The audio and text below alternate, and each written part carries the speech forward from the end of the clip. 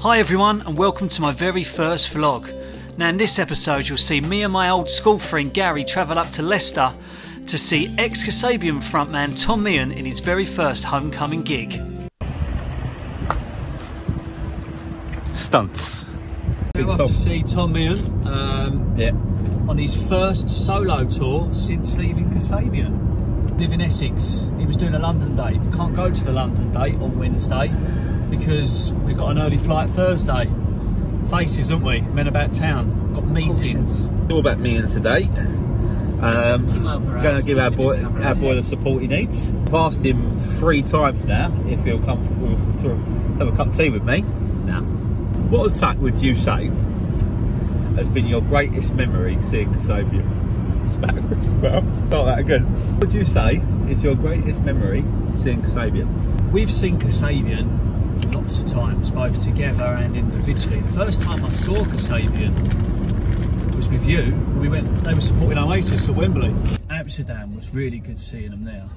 O2 was good. You know, when it was me and you, Dan, and Serge came out in the audience and literally walked straight past us. That one. Do you remember that, That one? was good. I think I'd have to say the Amsterdam one. You know.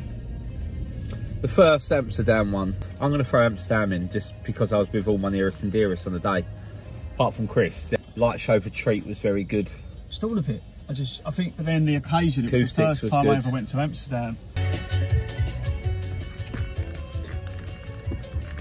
I would say these are probably my top five crisps. Cheese and onion discos. Yeah, just pound bags. Never seen the pound bags before. It's premier of all the elite crisps around Southend. Quarterback, got them the other day. Tangy Tom's was it we used to have? Yep, I do them. Yeah. The Giffard's Tuck Shop. No, I love my crisps.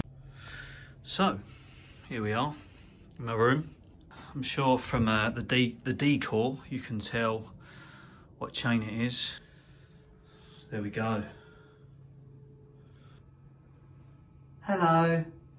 I'm on the first floor, but uh, yeah. In Leicester for a few hours.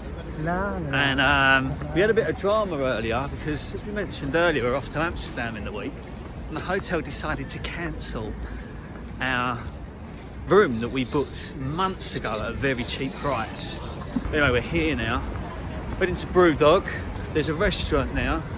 Gary, you've you've been there before. have? The best food place I've ever had. Okay. Barbecued meat. What's it called? Red True Barbecue.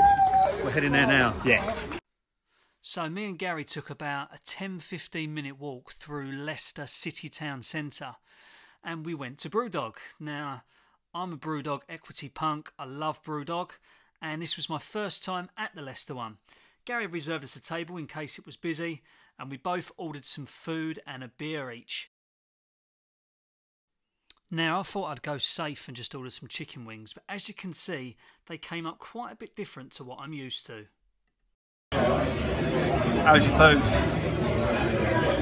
nice, but I'm really fucking full. How's the beer? Not the best I've had, but not worse. What did you go for again? We're in Brewdog, by the way.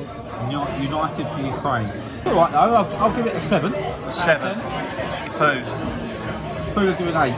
Yeah, it weren't as good as the real Red True Barbecue Yeah. that went to in Nottingham. Yes, taste sensation. It's like sex in the mouth. So from the pub, we had a short walk to the venue, but most importantly, the bar. Still waiting for Tom to come on with classic snake bites. We're just we're just a couple of guys in our late thirties drinking snake bites.